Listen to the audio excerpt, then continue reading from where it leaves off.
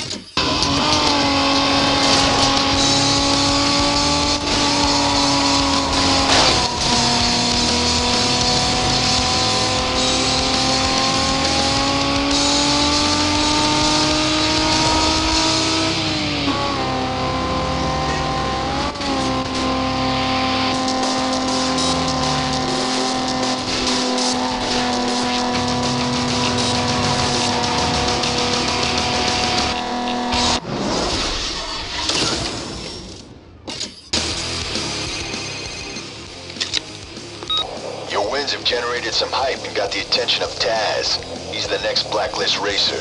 Guy's nuts, and a major heat score, so watch yourself. He's waiting for your call. Later.